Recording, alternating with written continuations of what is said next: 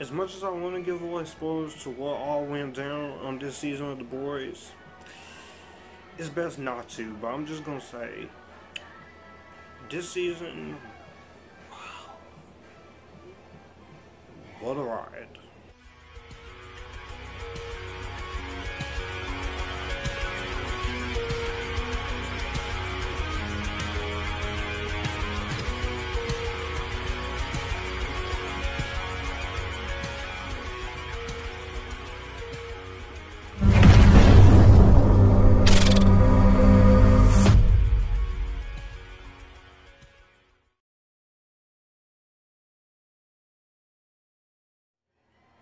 Going on, guys? This is your boy Josh, aka Future Filmmaker 394 Reviews, where I talk movie, TV, music, and I'm here to give you guys my completely vague review for season two of Amazon's Prime's TV show, The Boys, which is based on the comic book series of the same name. Stars Karl Urban, Jack, Quaid, Erin Moriarty, Anthony Starr, Karen Fukuhara, Laz Alonso, and a bunch of all awesome talent from the first season, as well as some new faces like Aya Cash. And following the events of season one, in hiding, Hughie, Mother's Milk, Frenchie, and Kamiko try to adjust to a new normal, with Butcher nowhere to be found. Meanwhile, Starlight must navigate her place in the Seven as Homelander sets his sights on taking complete control. His power is threatened with the addition of Stormfront and social media savvy new suit, in the case of Stormfront, who has an agenda of her own. And on top of that, the supervillain threat takes center stage and makes waves Vought seems to capitalize on the nation's paranoia. And there's a lot of other stuff in this second season of the Steve show that goes down, but I'm not gonna go too much into it because one is there's a lot of things that goes on in this season that is completely spoiler heavy and two I want to be as vague about this as possible because there's a lot of guys out there who doesn't have Amazon Prime and I don't want to give it away for them so there you go. So if you guys are new to the channel thank you guys so much for watching. Be please be sure to like, comment, and share this video, as well as hit the subscribe button and the notification bell to get notified when new videos are up, or when I go live, or when I do post on my community tab of what's going to be happening there. Otherwise, you're not going to get every single notification to either one of those things. And with that be also if you want to send money to my channel or you want to send fan mail, you can DM me or email me privately. Then I'll get again social media about those two and I'll get back to you. So with that being said, this is gonna be a fair disclaimer here. There will be no spoilers in the season two review because everything I'm saying now I'm going to be completely careful about because I one I don't want to spoil it for those of you guys who ain't seen it. Two, I want to just I just want to want to give you guys a fair shot and also in the comments section, guys, be completely spoiler free about it this second season as possible, because otherwise you don't you'll end up ruining some stuff for the for the people people out there who has yet to watch the show. Now, going in season two, I, I obviously this was gonna be a be a pretty excited second season for me to watch since I a few months ago I did watch season one and my review season one is up on the channel now if you guys missed that review I was pretty spoiler free from that one as well and uh, I'm continuing that with this so I will say off right now there I didn't have any predetermined expectations. I just went in and expecting a lot more of the fun and superhero, set, political satire, and dark comedy that you got from the first season.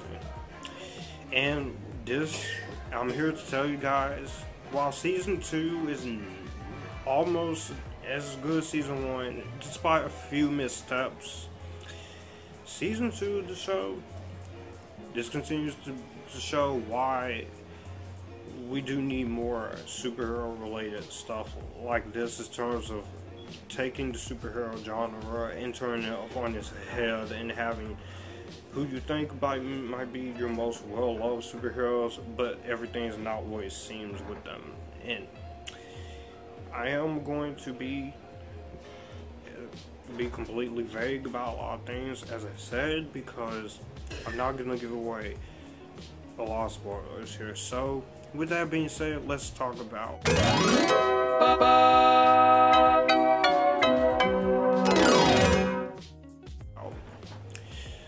About the first half of this without giving spoilers.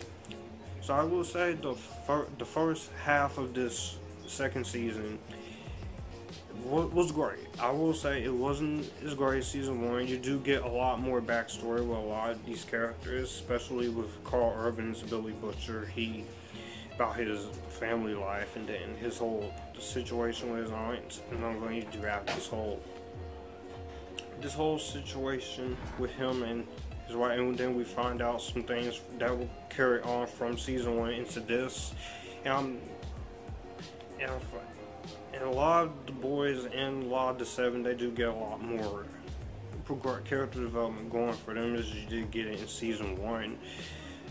There were a few times in this second season where it did, there were, it didn't really feel much like a progression with some of the stuff they were going for. Here, I kind of felt like some of it was a little bit sidelined, or uh, there were some moments where a few of these char- newer characters and some new some new guys did get underutilized here, but I still really now you do back they do cover most of what we already established in terms of these characters in the story, and this season it did a little bit backtrack from some of that, and you do get a lot more of what you got in the first one as far as the superhero satire as well as the humor. To because I do like how self-aware both this show is. It is very self-aware. You have Zack Snyder reference, you have Joss Whedon reference, you have a poster of the Seven that kind of has stuff from Man of Steel. It's just there's a lot of things, a lot of arcs that they really go about in a lot of the characters. And the first half of the season, it, was still really insane, and there was still some humor that they really went about in this second season. But there were also at the same time, this is a bit of a negative here, where it did, there were, it did kind of feel a little slow. And the first four episodes, I was into it to him. I was still into them, but there's a lot of character progression. There's a lot of subplots that they set up here that they do go somewhere, but it didn't really reach is most of these subplots it doesn't really go to in game. You have the whole thing with Billy character where he is basically on the run and he wants to shot a redemption. He gets to go back to his team. And you also show that he, despite him not caring too much for his team, he does have heart to him. So that you do have that too going on for him. And, and also you have the whole thing with relationship with Hughie and Starlight, where they are in love with each other, but the only way they see each other is that she escapes from Homelander's fits of rage and they do continue that and they do have some nice moments with them and how they talk about their family lives and why they are the they are the two nice sweet two ones in both in both teams of the group. Also, there was a lot of decisions. I'm being as vague about as possible. That's why I'm going all over the place because I'm being as vague about this. Because any I drop one spoiler, then just shoots up. Also, a lot of, a lot of these heroes they do get a lot more time to shine as they do here. I already mentioned Billy and then Hughie and Starlight, but all you do have progressions of him where he does the right thing and he, he does end up paying the consequences for it at, for it in something unselfish and he learns to trust and learns to be an honorable man. And there is a certain thing that does happen to Billy at the end of this season, which I'm not going to spoil, because that is that was a it makes his character more more, tragic, and it makes him makes you feel bad for him because he's trying to do the right thing. Also, you have to, to, Frenchie, which he does get to show his emotional acting skills and how his whole story arc goes in terms of his family and his brother. I did like what they did there. I thought that was very well done on the the screenwriter's part. I would, of the showrunners, they did actually some want took some chances and get more into these characters' psyche, into more these characters' head, and I like where they did take that characters. Also, Maeve, played by Dominique McElligott, this is the best that she's ever been in so far, and this we're only in season two, and Serge has a very epictastic story arc that I'm not going to depth into because that is a big spoiler, and I'm not gonna give it away because I shouldn't. But she goes through a very, very interesting arc that she goes through. And I will say Dominique McKellar, she does a really great job as well. Also, in this second season, you do have nice tie into season one, and, and that carries on to season two in the second half, which the second half of this season is my favorite my favorite part favorite part of this of this season. I still like the second half of the season though. It's just that when you get into this I was the episodes five through eight is where stuff really starts kicking gear and you start to know a lot more in terms of what is all going on here. What is really going on here. Honestly, the man of the hour of course, in both season one. I do want to talk about him here. Once again, Homelander, the villain. He is, like I said, in season one, you do think he's a superhero, but he's just because he has cape, he's not really who you think he is. Still, this is one of the best written and one of the best portrayed supervillains that I've seen. Now, if I did make a list of the best villain portrayals, he would be up there, at least in the top four. Just he's a, he's a he's one of the best written characters on TV, and once again, Anthony Starr he does a great job. He is Homelander. You you don't really see anyone else playing this part, and just he has he brings a lot of charisma, complexity, emotional distraught, while all while being the most powerful superhero in name only of all time in the world. He flips. He's able to.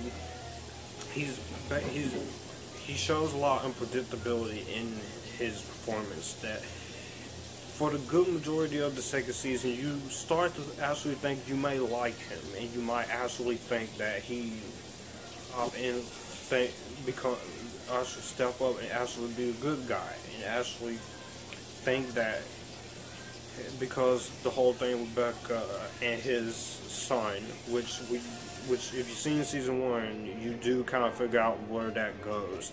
One of the things that they, I did like, once again, Jessie T. Usher and The Deep here. Once again, they both, Chace Crawford and Jessie T. Usher, they both play The Deep and A Train, but The Deep, I like his character arcs in both seasons. Is flawlessly well done, especially in this second season. I like where they took his character, and I can't wait to see where he goes in season three or four or whatever because he's really cool. Chace Crawford's really cool. He's basically the Aquaman type of hero, and I did like him. However, when it comes to A Train, while I did like A Train, once again, I feel like he's just there this time he didn't really get much to do as he did in the first season. And also with Black Noir, he's cool once again, but on this season, I feel like Black Noir was a little bit underutilized. Like they didn't know what they wanted to do because to do with them. So I will say that is that's more on to at least some of the writing with those two alone that that, that could have easily been avoided just a little bit. But they were still pretty fun to watch here. But as i was saying with surge i like her arc that she goes through in this season. Again no spoilers but the way it was handled the way it was executed and the way that they played it out it was really interesting to see it was really cool also, you get more with Mothers and Milk, of course, Laz Alonso's character, which his arc I thought was very interesting. He really had more to do. He does get a scene as well himself with Starlight and them talking. And just his performance once again was great. I thought he did a great job. However, also, again, Starlight herself, they built up to more of her from her character development from season two. And once again, Erin Moriarty, she really does a great job. She does sell you as a character, and she and she actually goes and help the boys out while also helping the seven out.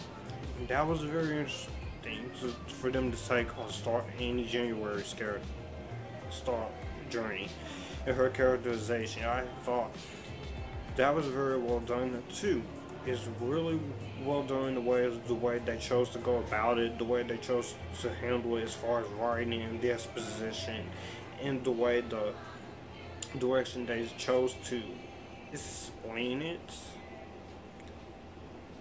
But once again, Erin Moriarty, Starlight, she does a great job. She still has the cool suit. She's still an awesome, badass female character, as we should say. Getting to the man of the hour, of course, once again, is Homelander, which honestly, Homelander, like I said, he's basically Superman, but if Superman was evil in the same way of Brandon from Brightburn was. He, this is one of the best written and better handled and best performed characters, not only on TV right now, but also as better, better portrayed supervillains like if I were to create a top 20 favorite villain portrayals for film and TV, he would be up there in at least in the top six somewhere. But I can't give Anthony Starr any more praise. He he does a great job as the villain. He's very intimidating. He's very interesting, and he he's just a villain who does not care. At this point, he's he, you may think he's a superhero, but the way they play it out, like, no, no. And also, he is Homelander. You not, I don't think they can really find anyone else to play the part of Homelander as good as him with that much complexity, that much charisma, and that much and that much emotional distraught, all while being the most powerful superhero in name only of all time in the world in this world that they established from the first season, how the rules and regulations go, of where the superheroes are the corrupt ones, and the ones who are vigilantes are going after them, trying to expose the secret. And there are some big twists and turns about Vought Industries, Compound V, and also with Giancarlo Esposito's character, which he does great, but he didn't have much to do this season once again and that's mainly due to the fact because he was doing the Mandalorian with this, which I can't wait to see him as a villain there. But in season three, I do hope they do right that wrong. But Giancarlo Esposito, he's a great actor, and is and it's always nice seeing him. And as we go along with the show, we hopefully we do get more of him as it goes along. But as far as Homelander goes, he's unpredictable, he's unbelievable, he knows he's doing a lot of things that are wrong while also trying to be a superhero, which I also like that. And he's he's once again a, he is surprisingly a standout in this season, the same way he was in season one with Kamiko and Billy and Starlight. And I can't wait to the turn the from the beginning of this season. You think that he's gonna step up and be a good guy, like oh okay he's actually gonna do right. He's actually gonna take care of his son, which sport, which if you didn't see season one, he did do a certain situation with Becca as far as assault attacking her goes, but but he does. But he does again. The Star, Star Homelander. He is a villain that just doesn't really care. He will do some pretty messed up things.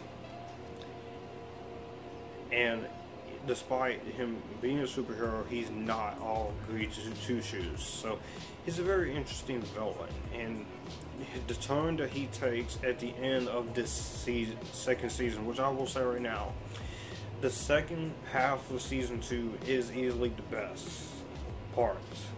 Now, season one, the first half is great in this season two but when you get to five through eight, mainly episodes six through eight, because season five is still great on its own. When you get to the last three episodes, that's where a lot of stuff hits the fans, stuff goes down, especially with him. And the, the turn that he takes in the end, last episode, you can only imagine what is going to happen with him in season three as it goes along. Also, Kamiko gets to shine pretty well again this season. Karen Fukuhara, she's a great actress. She's pretty fierce in the role. She's a strong-willed hero in the role. She was a great Katana in Suicide Squad. She is a great Kamiko hero. She is still a mute, and her character progression is really great as well. In the case of what happens with her brother, and then some, and then how she wants to get rid of the new baddie here.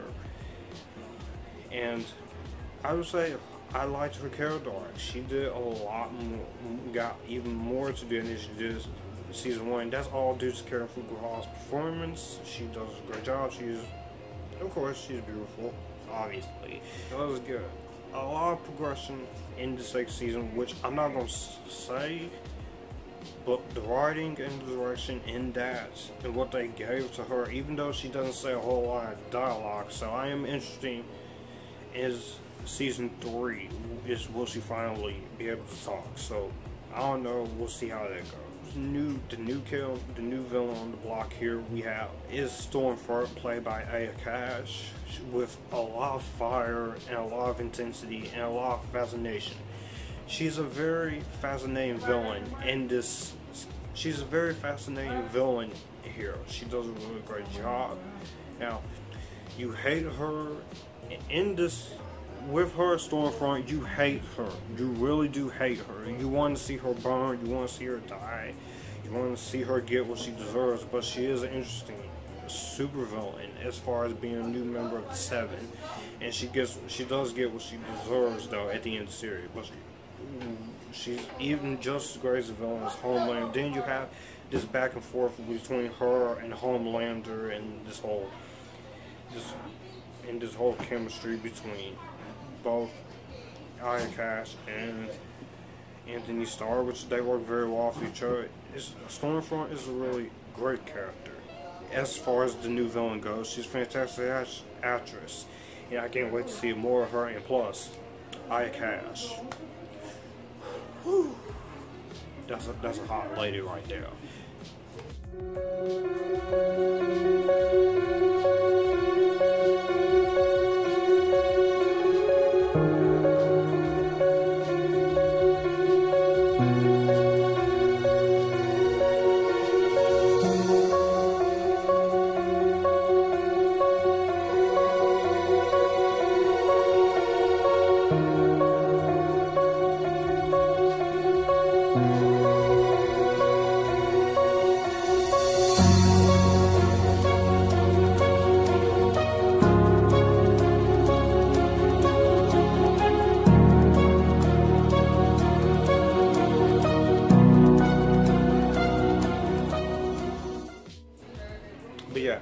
Cash, she does a really great job, and also you do find a lot of interesting things about her, especially when it comes to season, when it comes to later on in this season, where you do get to find out that when you get to find out this whole thing with her, mainly when she presents herself as a supporting gen presents herself and she supports gender equality and she has electrokinetic abilities and she's a social media influencer and new member of the seven while she is presenting all of that secretly, she is basically a.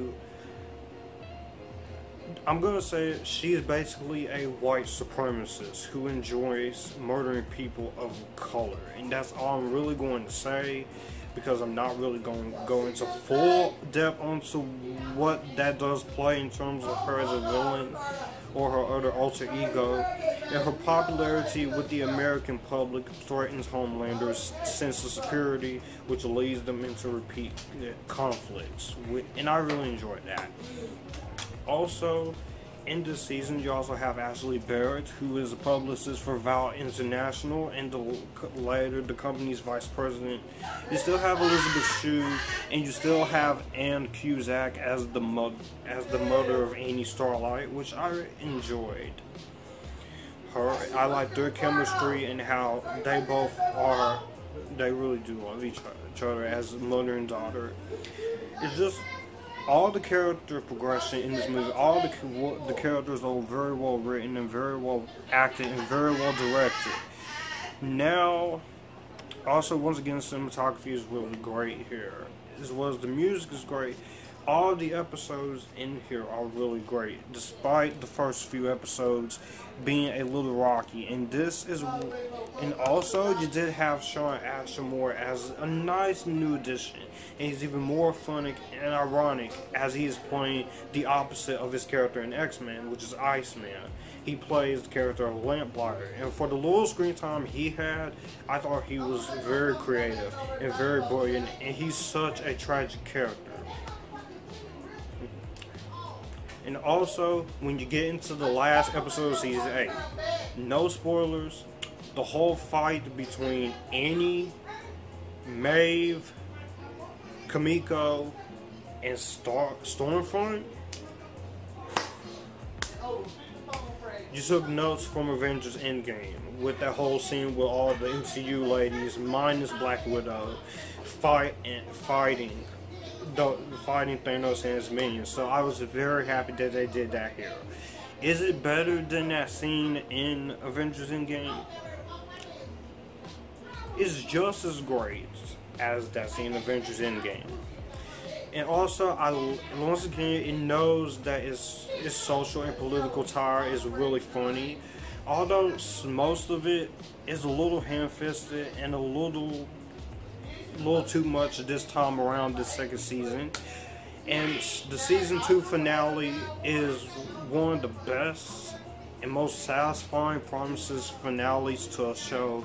And there are so many more things that lie ahead for season three because I do leave some stuff open ended, especially in terms of Jensen Ackles' superhero killer, Soldier Boy.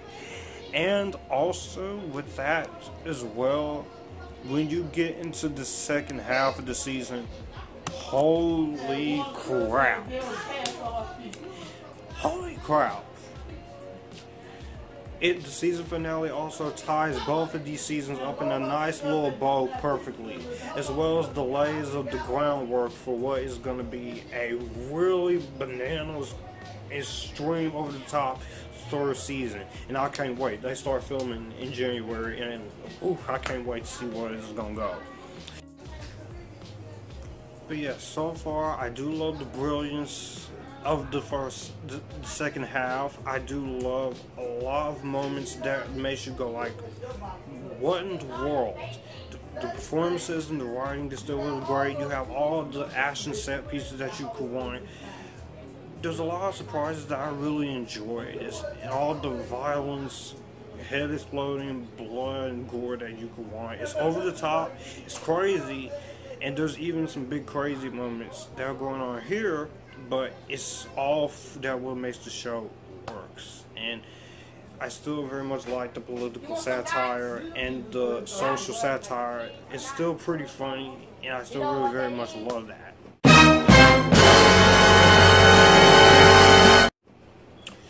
However, like I said, there are a few problems here. One, I will say that some characters, especially A Train and the Deep, and there's a lot of other new characters that didn't really get as much to do, especially those two and Giancarlo Esposito. I thought they kind of felt more in the background and they didn't really know what to do with them. And I felt like that was a bit disappointing considering the fact that I, considering the fact I really liked them a lot. Also, some moments of political satire and social satire, they were a bit on, they were a bit iffy for me. A lot of it very much worked a lot of time, but there was some moments where it didn't really knew what it was doing. Also, like I said, while I do love the first half and all the writing and the character moments and more of the development that they gave you, I felt like with this, with this, I felt like there were a lot of moments here that it felt very, very, they were very, felt very slow paced and they were a little bit dull at times and also there were some some some big things in here that I kind of feel like like okay I get why that's in there but you could have taken out a couple of the some of that stuff out and it wouldn't make a big difference. However there's still a lot of great things that outweighs the bad and makes season 2 just as great if not better than the first season if you guys are new to the channel, be sure to follow all me and my social media links to Facebook, Instagram, Twitter, Snapchat, Letterboxd, Stardust. All those social media links are in the description box down below. If you want to send money to my channel or you want to spam mail, you can DM me as well. As far as liking, commenting, and sharing and subscribing, you already know what to do there.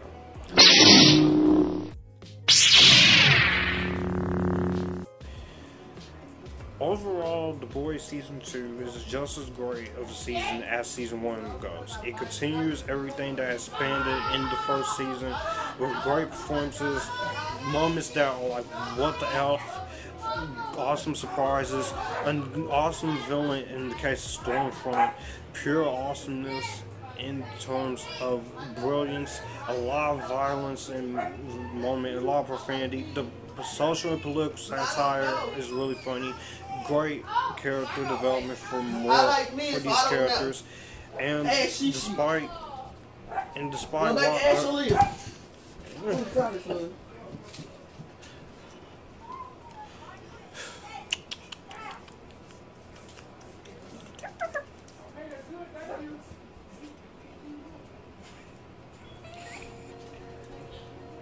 My cock pot when you come down here. Stepping on silverware, my leg hurt, my back hurt.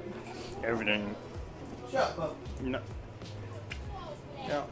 Overall, The Boys season two is just as great as it was season one. It continues everything that was built up onto the season one finale.